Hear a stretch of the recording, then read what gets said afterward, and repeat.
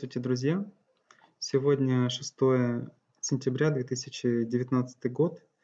Э, у побережья США э, бушует ураган Дориан уже в течение нескольких дней. Э, и вот открыв карту ветров, пронаблюдали очень интересную картину, вот, которой хотелось бы поделиться. Интересно, что данный ураган не зашел на территорию континента США, а прошелся вдоль побережья по океану. Э, и вот на карте можно видеть э, скорость ветра в зависимости от координат.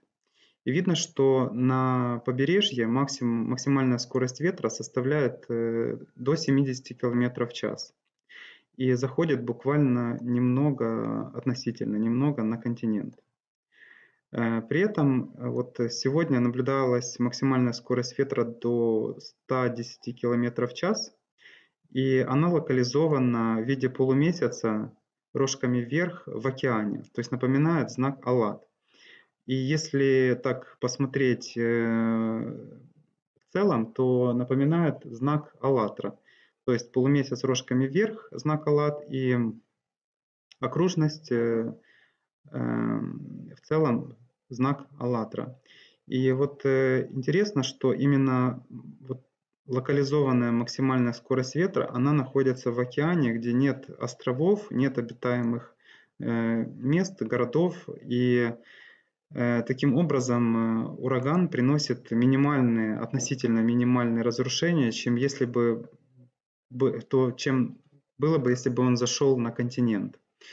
И если сопоставить эту информацию с передачей, которая вышла недавно на АЛЛАТРА ТВ с участием Игоря Михайловича Данилова, э, передача «Шанс на грани», в которой озвучивалась информация об искусственном сдерживании э, катаклизмов и о том, что вот наблюдается то, что э, катаклизмы, которые должны были бы причинить очень большой человеческий урон человеческим жизням, он минимизируется, максимально возможно минимизируется.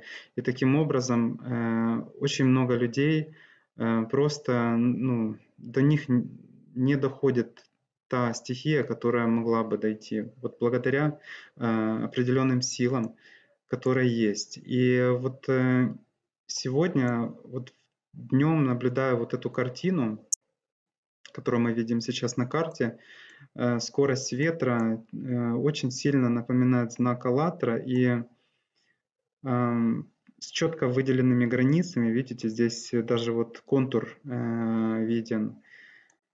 И вот настолько тут понимание, насколько важно вот то время, в котором мы живем, максимально использовать, максимально для того, чтобы объединиться всем обществом, всем вместе и пережить грядущее, потому что понимание приходит, что любые катаклизмы мы можем пережить и только вместе, и решить совместно любые вопросы.